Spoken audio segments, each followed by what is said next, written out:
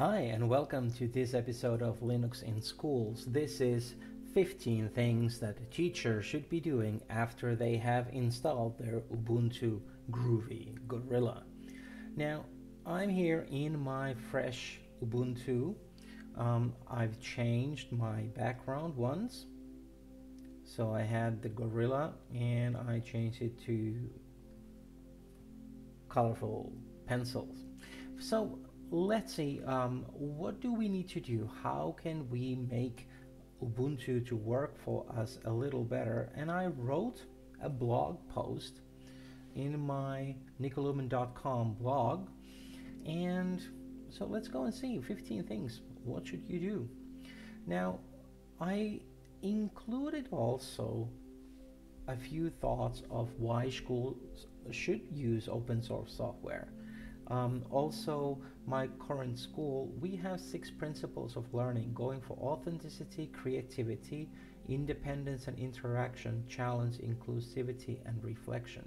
And so when I'm thinking about why should I use open source software, these are the values that I uh, use to assess every single decision that I do. But I also use the technology integration matrix. So the five categories that um, I should be focusing on are active, collaborative, constructive, authentic, and goal-directed learning. And for me, open source software gives me the, the tools to do these things. Uh, but the main three connections that I make are equity, the values, and localization. Now, for equity, it is that when I use open source software, I use usually tools that are published on all three major platforms. So on Windows, on Mac OS, and on Linux. And because they mostly are free to use software, I can download and distribute, the students can download and distribute these apps, this software on their home desktops, their own laptops, and so I'm not putting anyone into any position where finances or access to hardware is going to make a huge difference. The second thing is values. The open source is based on sharing the knowledge, working together, openness, transparency the free access to information. And this is really um, inclusivity. This is independence and interaction. This is creativity. This is collaborative and constructive learning. All together, that is in the core heart of the beliefs of open source software. And then my third, localization. Now, this might feel a little odd, but let me explain. You are allowed to use with open source software, you can participate into an authentic program, you a project. You can collaborate, contribute, participate. Um, students can use their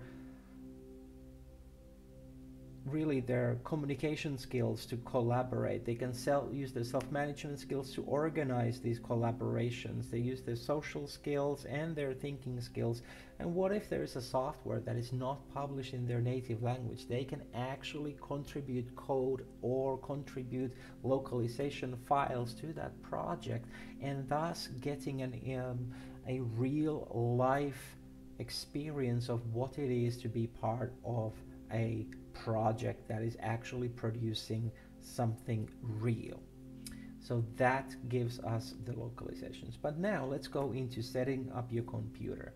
So what you need to do is always find out what is new. Um, I've uh, put in some really great links from um, OMG Ubuntu website. Um, what are the new features? And also you need to understand that once you install it, you are the system administrator and then you can create a standard user. But as a sy system administrator, you have the super user power. And with super user power, you're going to be able to do this. And you don't have to use the terminal. You do not have to. However, it is here. we can go in and put in terminal and most of my instructions right now are for terminal. Now what you can do is that you can control C, control copy or copy and then we can put this one here always on top so we don't lose it. Uh, with the mouse scroll click we can paste and then we just say our magic password. So now what I'm doing I'm doing an update and an upgrade right off the bat. And ooh that was a lot. So while that is going there I do this every single time before I start doing anything else so that I know that my system is up to date it is ready it is configured and I am ready to start uh, working on other things. Now, my next part, and while, and this is the great thing about Linux, I can already start without any problems. I can already start looking at what is the next thing. Now, Ubuntu as a desktop is using underneath GNOME desktop and it has great, great, great functionality already, but it lacks some of the things that I find really useful. So what I like to do is that I like to use those uh, some GNOME extensions. Now the GNOME extensions are tools that I really enjoy because there are some really um, subtle but they're enhancements so I can be um, picking up my microphone. I have two microphones. Which one do I want to use? The extension is going to give me that. I have dual screens, multi-monitor support comes through those enhancements. Um, having desktop icons, which I really don't know why we didn't have those before, um, that support also comes through those extensions. And this happens so that um, you usually use it through your favorite browser. But before you can do that, you need to add that support in your system. And that comes through another set of code that we can copy paste into our terminal once this terminal has um, finished its unpacking and installation of the upgrades that we're doing which is as we can see here on the progress bar right now showing that we are already at almost 40% now also what it is doing right now it is bringing on the LibreOffice 7.1 the brand new version of LibreOffice that was published today or is it? Well, let's see. So that was um, that was um, a big news that the new LibreOffice is in. So while we wait for um, that to finish, let me introduce the other parts because they're not necessarily something um, that uh, we need to do as we go. Uh, media codecs. Now, if you didn't opt for installing those third-party sources during installations, um, which I do recommend you do. If you watch my previous videos about this, you'll notice that that is the way to go. And then you don't have to do that here. But if you didn't do it, it is as quick as doing that sudo apt install ubuntu restricted extras and that will give you um, the popular music and video formats um, in your use as you want to go.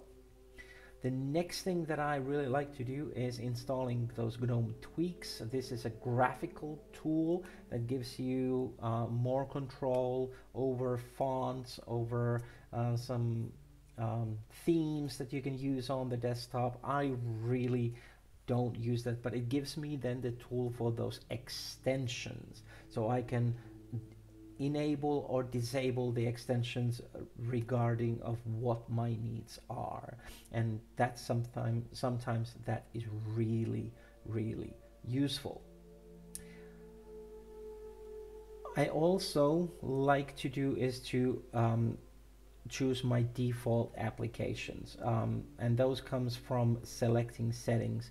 And for settings we can go over to the right hand corner and click on settings and that gives us um, access to settings. So now here we are. It automatically goes to background but I want to see my default applications. And by pressing default applications right here now I see that my web browser is Firefox and even if I'm pressing here the arrow it's not giving me any other option I go for mail Thunderbird mail the same thing. My calendar is a text editor right now. My music is a Rhythmbox videos and then image view oh I have some options here that I can choose from but nothing that I would be able to use um, extensively yet. So those are the default applications. The next thing that I can do is to look at if I need a graphics driver so if you're using something like NVIDIA you might want to enable the NVIDIA graphics drivers um, you don't have to, but it might improve your system speed. So, and that happens through about software updates. And when you click on software updates, and now my system is going to be a bit laggy here. It, we get it up here so the first thing is that it shows us downloadable from the internet. Yep, we got all the Ubuntu software, other software. If we want to install Skype, we want to put the canonical partners here. It's going to ask for that super user password for that. So if other people are trying to do that, they cannot if they are standard users. Updates, authentication trusting software providers we can add we can add here later on and then additional drivers. Now searching for available drivers there's no proprietary drivers are in use. Now my system does not need this so I do not expect to see any yep no additional drivers available. So I can close that up. It says that the information about the available software is out of date so I will need to do that but I do not want to reload while my terminal is doing its thing so I'm just gonna click close right now. And once I get this one done I'm gonna run that update script again just to be safe. And get all those new programs also as part of my repertoire. Okay we're at already at 95 percent and that is now going to stall for a little bit because it's going to um, update my boot where I can then choose a new uh, version of the kernel or I have then the new version of the kernel in my use so that my computer has got all the security and uh, other patches and it's then ready to be used as well as it can be. Now, if you are using a laptop, then you also want to install laptop tools. This allows then you to monitor your different type like battery, uh, fan speeds, and etc. That things that will make your battery last longer and you can get more out of your laptop. Now, updates are done. I'm just going to do an update here so that it's going to add those partners in and packages are up to date. So now we can go in and go start with that GNOME shell so copy and again um, when we're here we don't need that dollar sign we just want that sudo gnome shell and pressing the wheel pastes it in so now we got the GNOME shell and if I go with my browser to extensions dot gnome dot org now I have the shell extensions in my use.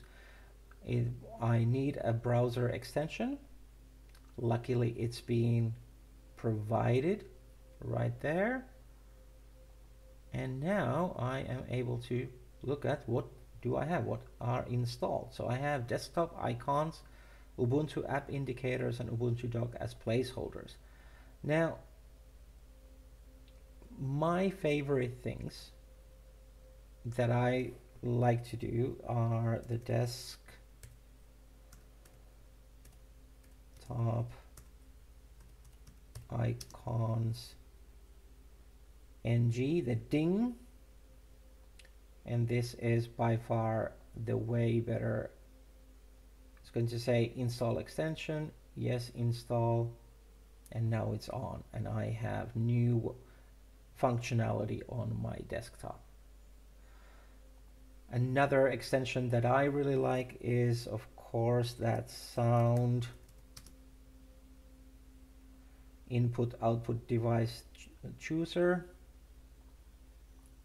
I click on. Do you want to install the extension? Install yes please. And now when I go up here I have more usability already on my menu system. Now let's get me back here on so media codecs I have because I already used it. Um, the tweak tool. Again we do not need the dollar sign. We just want to grab the tweak tool.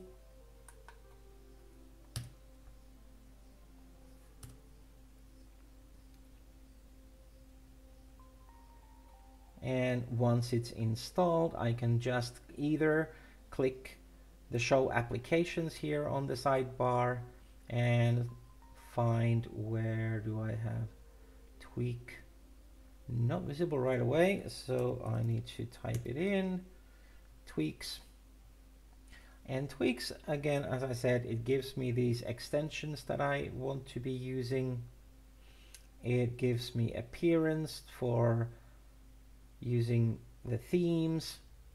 I can look at my windows my fonts and etc so those are the system things that I need now for software, I definitely want to install Chrome and Chrome is as easy as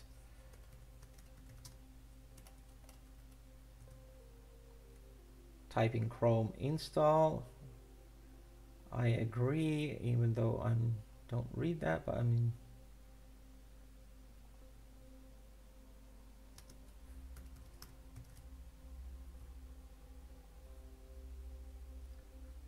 Oh. I did not get that as my first choice. Let's see. Hey, Google. Let's see, download. Let's do that. Get Chrome for Linux for Debian Ubuntu. Uh, it Debian Ubuntu. It has um, recognize where we are, said accept and install. Now what is going to do, it's going to, you have chosen to open Google Chrome stable current AMD 64.deb. Now the dot .deb is uh, important, that means that it's a Debian package and that means that yes, you can install that on Ubuntu system because Ubuntu is based on Debian. Now I'm going to say open with software installed. That is the default and that opens the software store right away. Oh, failed to install. Wrong choice. I need to download it again and this time I'm going to save the file. So that was actually something that happened uh, during the download and because I still want to use a graphical um, installer I'm going to install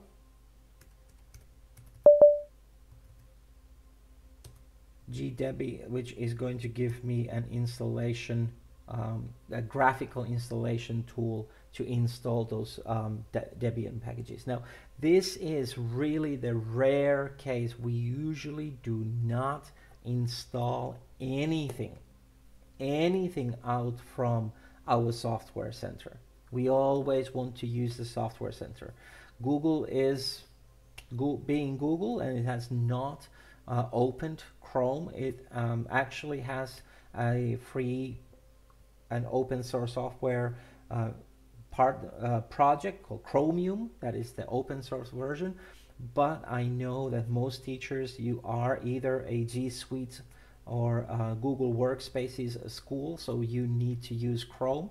And also that allows you to use the same extensions then for your Chrome as you use um, you know on any other device that you if you're even if you're on a Mac if you're on a Windows or if you are on a Linux system so again that is something that um, I know that you guys want to be doing now everything else we have here on our system we do have them in our software um, center so VLC which is a, a wonderful video um, player we want to install because that is the ultimate media player. It's going to ask for my password and the reason why I don't always use the software center is because I already know these I pretty much know which piece of software I want. I don't need to be uh, going and search for it. Um, and so therefore it's kind of like well how do I um, it's convenient for me to use the command line the terminal because I know uh, it is faster and I it gives me a visual feedback right away of what is happening. And so I just I just feel that it is something that I like to do uh, a bit more um, and I feel that I have more um, more control over now something that I do feel that it's it's nice and um, and things to use the graphical user phase for is when I am um, installing like uh, the Debian packages that if I've uh, brought them over from somewhere else that they're not in a repository um, for Ubuntu. So that's kind of like the rare moment when I do uh, jump over and, and look at uh, other things. Now it says that it's one installed and to be honest I it's been such a such a long long time be like I really wonder when it has been the last time when I used the software center um, one package that I really think oh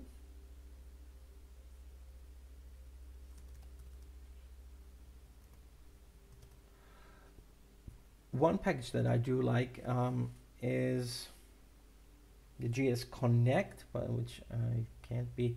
Uh, did I? There's the Snap Store, Groovy Universe.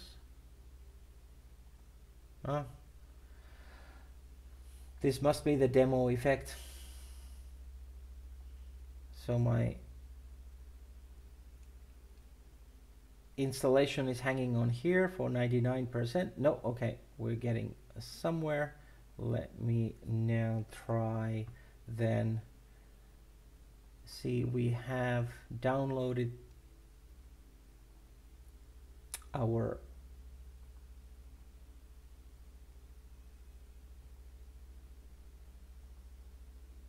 Google Chrome stable.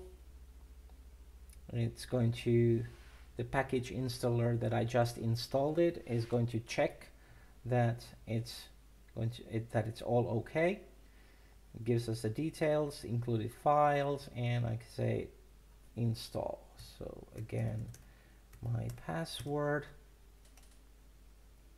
and it's going to do the installation. Now,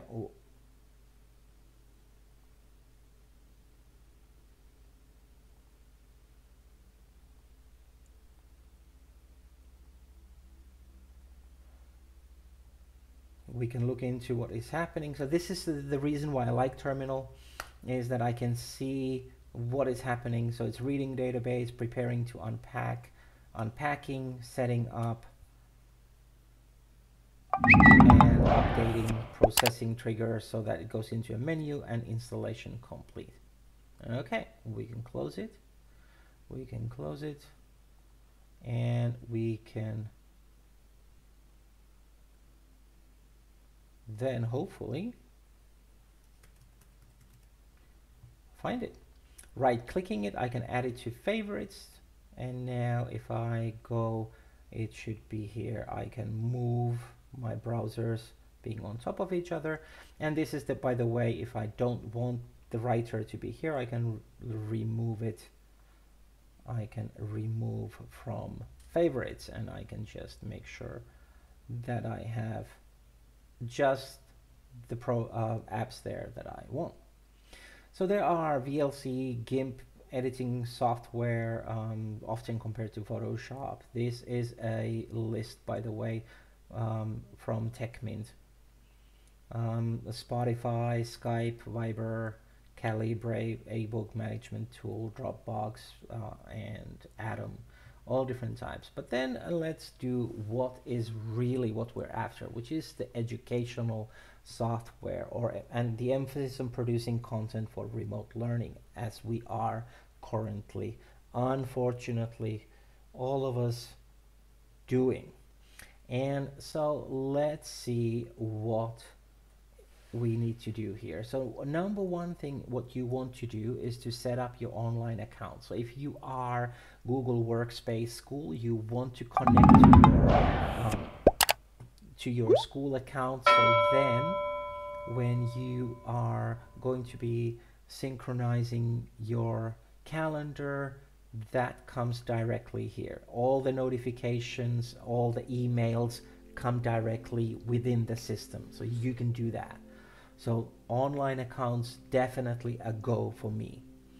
Then content creator. You want to, if you have an older laptop that you're going to be using, you want to install simple screen recorder.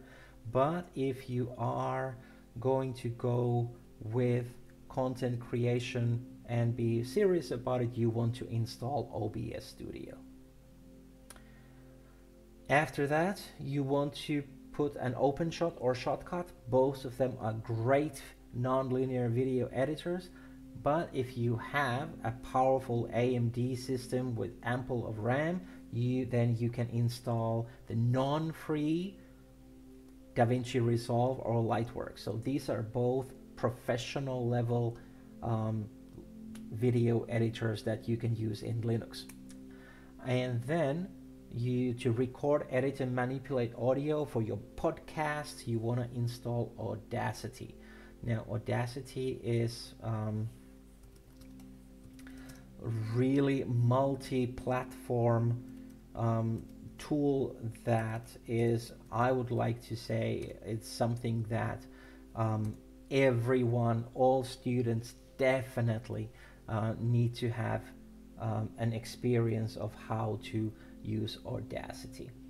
Um, it's a multi-track system. You can uh, compress, combine, you can um, do everything, noise reduction, amplification, uh, normalize it, the works. It works in Audacity.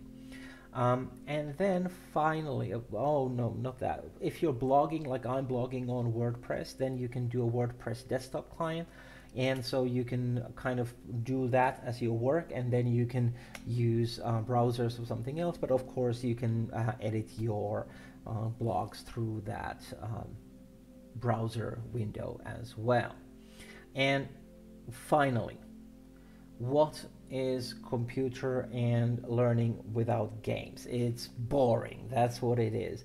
And that's the same thing what I would say. So, um, for games, if you're a Minecrafter, if you use Minecraft at work, you want to install Multi MC5, allows you to have your different um, different profiles. You can use the different uh, versions. You can have Fabric, or you can uh, create. Uh, you can have um, Optifine, and it will. Uh, you can play um, with different profiles and you do not break your Minecraft installations. Now, uh, Minecraft Bedrock client is also ported for Linux. You can use that and play the Windows 10 version and connect to Realms and play with others from your desktop. Um, Steam, you can get your Steam games. You can uh, you can get your uh, different kinds of games online, and you can have them here. Um, and of course, Lutris. Lutris is another um, emulator that emulates a Windows uh, environment, so you can also try out if your Windows-based games work here on Linux. Now, this is a very rudimentary website. Um, it does not give you um, step-by-step instructions. If you are after step-by-step instructions, click on any of these links to go into a way more detailed and prettier way of what to do after you have installed Linux.